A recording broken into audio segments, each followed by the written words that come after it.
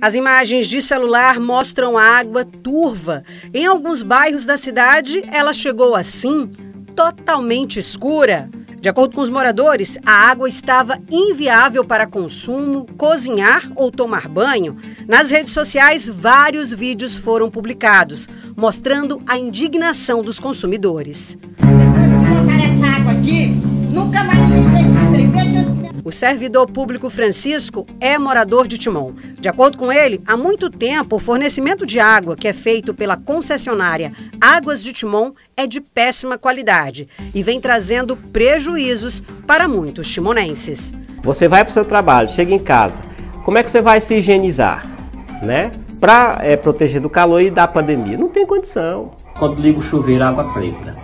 À noite, do mesmo jeito. Esta lavanderia já contabiliza os prejuízos causados pela má distribuição de água. Segundo esta funcionária, é impossível lavar as roupas dos clientes com a água suja.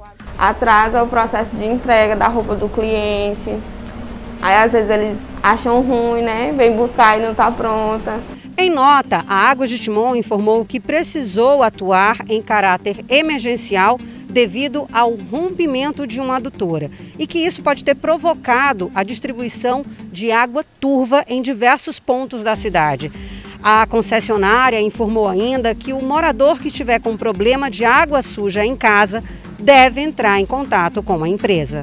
Dois canais de comunicação da concessionária Águas de Timon é o telefone 0800 595 8888 ou o WhatsApp 86 98166 8888. Para a população, a nota de esclarecimento da empresa não foi convincente e os moradores continuam exigindo atendimento de qualidade. Sem contar que todo mês chega as contas, se você não pagar o seu nome vai ter restrição.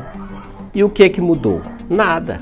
Foi piorar a situação do timonense, infelizmente.